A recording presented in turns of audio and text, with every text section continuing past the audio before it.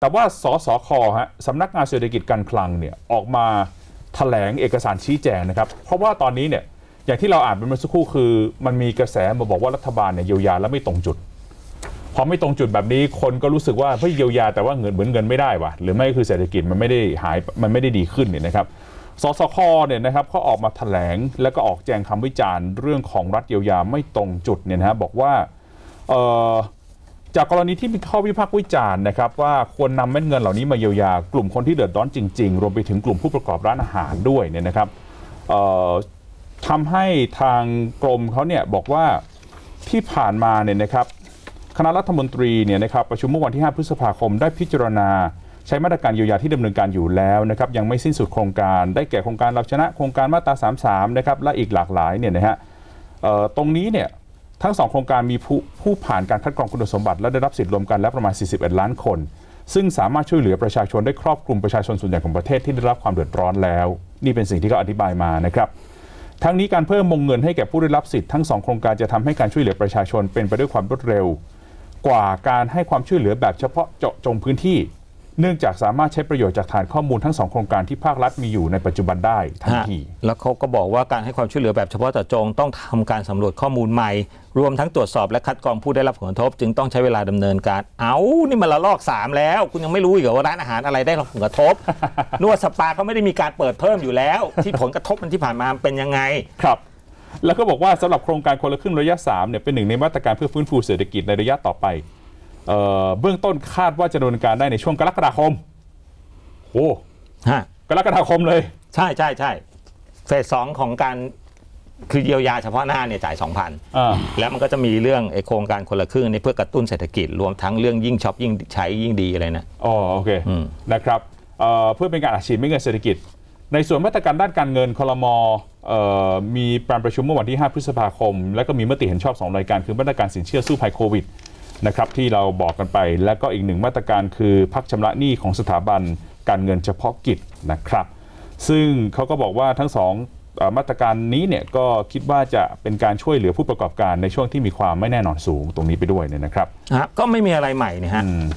แต่แค่แต่เขาออกมาชี้แจงเขาแค่ออกมาชี้แจงว่าที่ผ่านมาคนบอกว่า โหนี่ผ่านมาหนึ่งปีก็คุณคือยังเยียวยาแบบ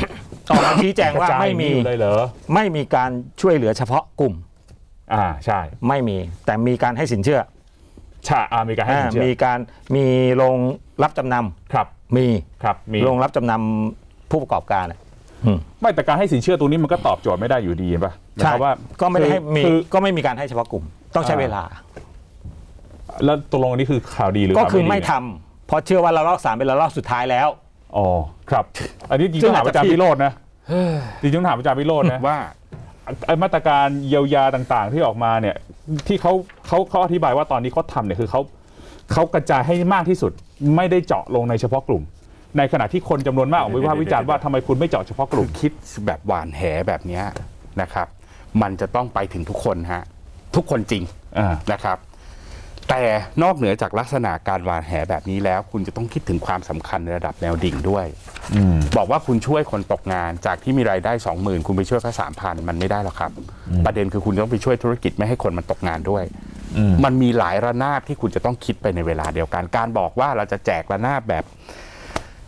35 ล้านคนแจกไปแล้ว4,000บ้าง5,000บ้างอะไรอย่างเงี้ยนะครับ มันไม่ได้ก่อให้เกิดผลกระทบในทางเศรษฐกิจที่มันเป็นเชิงบวกมากนัก เพราะมันยังมี sector อื่นๆที่ได้รับผลกระทบ และคุณจะต้องคิดในมิติอื่นๆเขาเคยติดต่ออาจารย์มาเป็น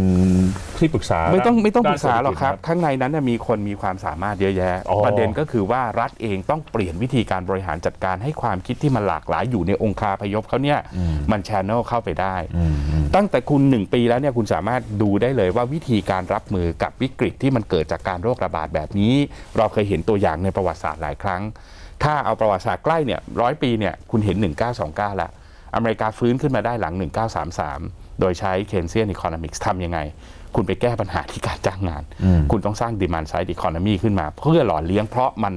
supply chain ทั้งหมดในโลกมันถูก disrupt ไปหมดแล้วถูกไหมฮะคุณเอางี้ คนไม่มีเงินจะซื้อของโรงงานก็ปิดตัว คนก็ตกงาน คุณจะฟื้นสภาวะแบบนี้ยากมาก คุณเอาเงินไปให้โรงงานโรงงานเอาไปใช้หนี้ครับ ถูกไหมแต่ถ้าครับคุณเอาเงินใส่มือคน แล้วเข้าเอาไปบริโภค โรงงานมันมีดีมานถูกไหมมันก็จะเริ่มผลิตเริ่มที่จะปฏิบัติการต่อไป แล้วก็จะเพิ่มการจ้างงานมากขึ้นไปเรื่อยๆเพราะฉะนั้นมันจะต้องคิดในมิติแบบนี้ครับนะฮะการเยียวยาเรื่องหนึ่ง ก็เป็นส่วนหนึ่งที่จำเป็น แต่การกระตุ้นเศรษฐกิจเนี่ยมันเป็นอีกมิติหนึ่ง ซึ่งต้องยอมรับครับว่ารัฐบาลทำได้เลวมากนะฮะคือเท่านั้นที่เองที่ผ่านมาเนี่ยรัฐให้ความสนใจกับการจ้างงานน้อยไปหน่อยอืมอืมคุณใช้กลไกประกันสังคมในการช่วยอุ้มชูไปนิดเดียว แล้วก็จริง ๆ แล้วไอ้มาตรการที่รัฐช่วยครึ่งหนึ่งในการจ้างงานเนี่ยเป็นมาตรการที่งานวิจัยหลาย ๆ ที่รวมทั้งในต่างประเทศบอกว่ามันได้ผลมากในช่วงที่ผ่านมาครับเอ่อผู้ประกอบการในประเทศอื่นเนี่ยไม่ล้มไม่ล้มสลายไปเพราะว่ามันมีกลไกตัวนี้ แต่ว่าที่ขอรัฐงไปไทย subsidize เนี่ยไว้อะภาคธุรภาคท่องเที่ยวซึ่งได้รับผลกระทบแบบเต็มๆชัดเจนแบบไม่ต้องเถียงกันอืม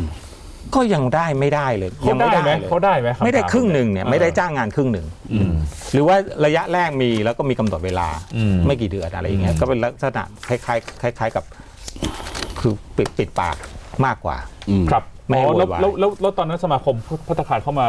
เข้ามาเอ่อพูดในรายการ แล้วเขาสะท้อนปัญหายังไงบ้างเขาบอกตอนนี้ปิดไปหลายหลายล้านหรือว่ายังไงปิดแล้วก็ก็ก็ต้องมันก็ต้องปิดนะฮะ ใช่ไหมฮะ ก็มีได้อันนี้แต่คือปิดถาวร delivery หรือชั่วคราวเนี่ยไม่ฮะ ก็ตอนนี้ delivery ได้อย่างเดียวอ่าแต่เขายกตัวอย่างอย่างเช่นในกรณีของแม่สีเรือนเนี่ยอืมซึ่งมีอยู่ 30 กว่าแห่งครับเนี่ยมีจ้างผมคก็นอกิยู่นประมาณผมกิน700 คนใช่ไหมฮะ 700 คนเนี่ยอีก 300เนี่ยต้องให้ไปอยู่บ้าน